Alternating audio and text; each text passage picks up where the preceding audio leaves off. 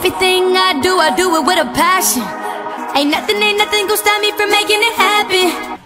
Hi guys, my name is Poetress Justice. If you're new, be sure to hit that subscribe button. And today, you guys are going to see a femme versus masculine on me. You guys could just see how I would dress if I was feminine and how I would dress if I was to dress masculine.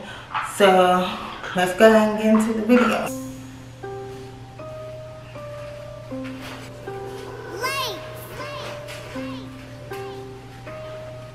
This first fit is basically a um, jersey, some cargo jeans, and um, this is basically the tomboy look that I would wear out if I was to go outside.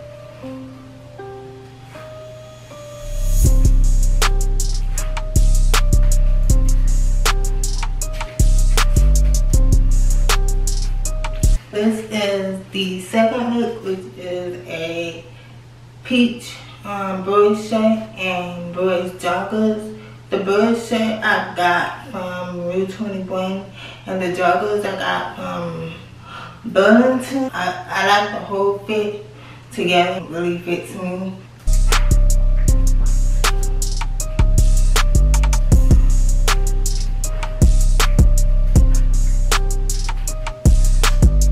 Misfit shirt, have had this shirt since I think college and still fit. And the shorts I've had forever too, still fit. Um, see but don't, don't right there. Can't shake for nothing, but look, it's cute.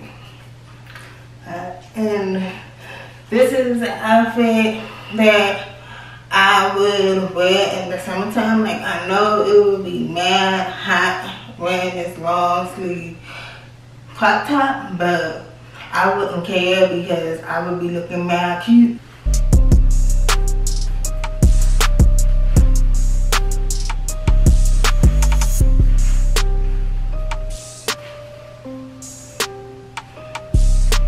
I love, love, love these um. I ended up finding a shade that could coincide with the paints.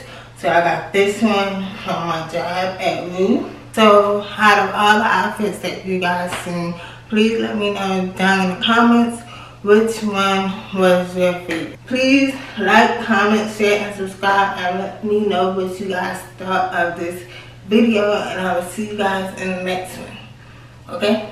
Bye. I'm a northeast baby, bitch. I swam too cold. I got three different numbers like an area code. I don't shop with these niggas cause they selling they soul.